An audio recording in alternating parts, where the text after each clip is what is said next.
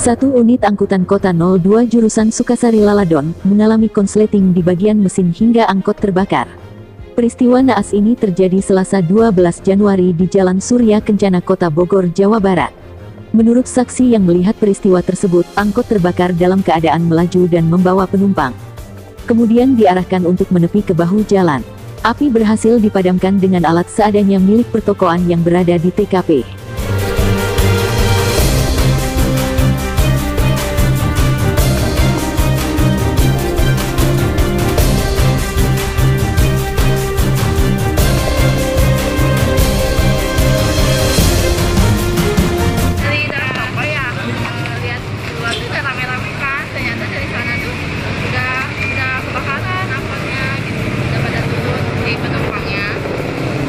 Ada penumpangnya nggak teh kira-kira?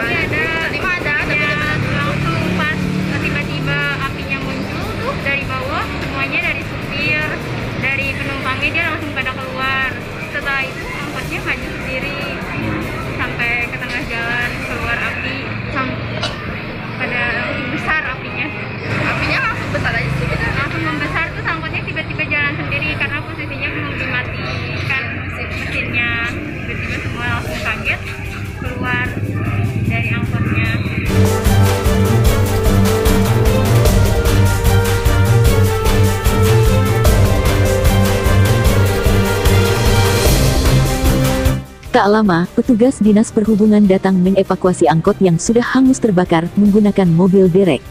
Tidak ada korban jiwa dalam insiden ini, akan tetapi kerugian ditaksir puluhan juta rupiah.